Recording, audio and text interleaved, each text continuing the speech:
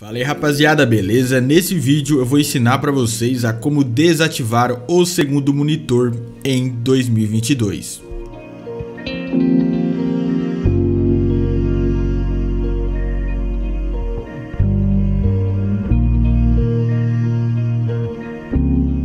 Primeira coisa bem importante que eu tenho para dizer para vocês, tá? Se você joga jogos online e você tem problema com ping alto nos seus jogos, baixe o Exit Lag, tá? Que ele vai estar tá te ajudando a resolver isso. O link tá aqui na descrição do vídeo. Bom, então vamos lá, né? Vou ensinar para vocês aqui agora a desativar o seu segundo monitor, tanto se for apenas é, temporariamente por um tempo, ou se você realmente quiser desconectar ele completamente do seu sistema. Você vai estar tá clicando com o botão direito e vir configurações de exibição. E no meu caso, como você pode ver aqui, eu tô com dois monitores, né? Eu tenho um monitor principal e eu tenho um monitor secundário. Os dois estão funcionando perfeitamente. Verificando isso, você agora vai estar tá digitando, né? Vai estar tá colocando a tecla Windows mais P, Windows mais P simultaneamente, tá? Ao mesmo tempo. Quando você fazer isso, vai aparecer essa janela aqui no canto direito e vai ter quatro opções para você. Acredito eu que a sua opção seja a estender, que ele basicamente vai estar tá utilizando as duas teclas, né? Você vai estar tá colocando colocando esse aqui, ó, tela do computador somente. Essa opção, tá? Ele vai estar tá ficando com a tela principal no seu sistema, a tela número 1. E a tela número 2, ele vai estar tá desativando, tá bom? Então o processo é muito simples e muito fácil. Então esse aqui foi o vídeo, espero que você tenha gostado. Se gostou, deixa teu like, te inscreva no canal. Até os próximos vídeos e falou!